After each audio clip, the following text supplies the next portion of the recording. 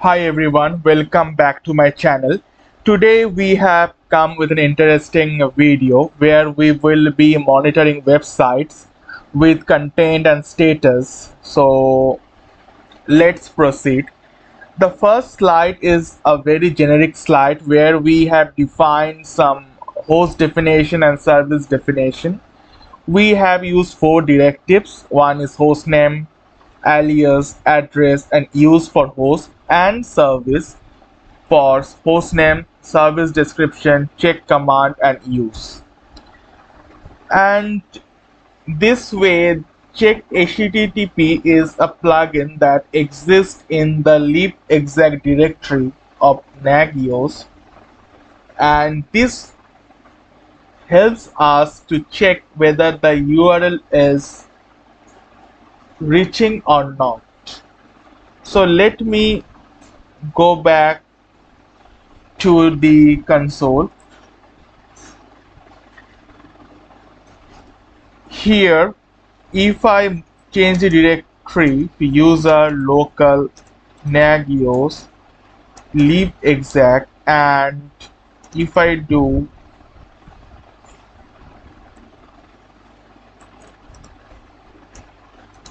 check http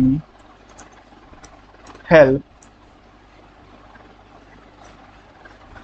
this will open a manual for us where you can go through what type of switches or flags we can use such as H for host, I for IP address, U for URI, hyphen P for ports, warning and critical timeout, everything, whatever switch of flags you can use.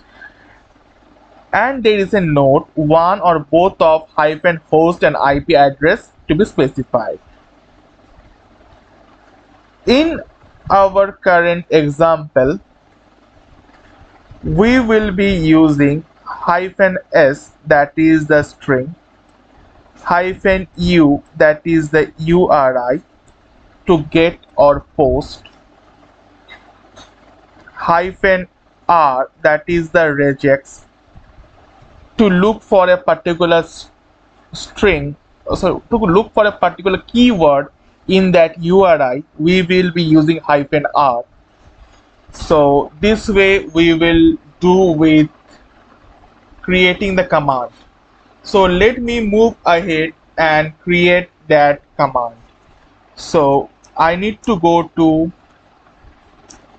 etc objects. Here I have the commands.cfg here I have defined the command name as check status command line as dollar user one dollar slash check http hyphen h host address and the rest of the arguments that we will specify in the check command section of the host and service definition.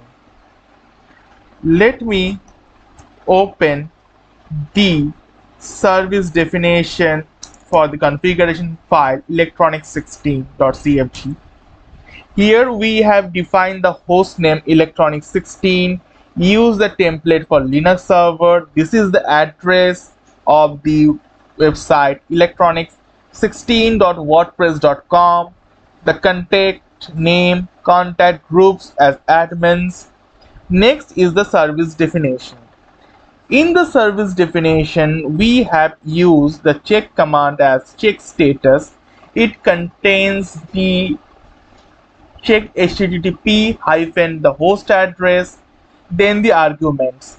The arguments are is separated by a separated exclamation mark that is hyphen r that is the regex for user hyphen i the ip address the uri to follow is given then hyphen f to follow that link and hyphen hyphen ssl because it's an https website. Similarly in the next service description we have for Java content, we have written the check command as check status exclamation hyphen s string Java. Then the same set of arguments we have specified. Once you did this step you need to do write and quit that is exclamation wq exclamation. You need to verify the nagios that is similar user local nagios bin nagios hyphen verification user local nagios etc nagios.cfg and it will give you whether the configuration file have any errors or warnings that you need to fix. But it's currently there are no warnings no errors. So are good to proceed. You need to restart the Nagios service systemctl restart Nagios. Once these steps are done you need to go ahead in your Nagios console where you can see the services. In the services I can see there is one configuration for the host electronic 16 that we have recently configured. And if I do a view status detail it's showing that okay so this is the Java content and this is the response time and uh, second one is the Java status. For that website is also this much bytes in this much second response time.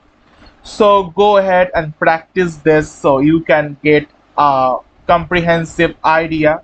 So that's all in this video. See you next time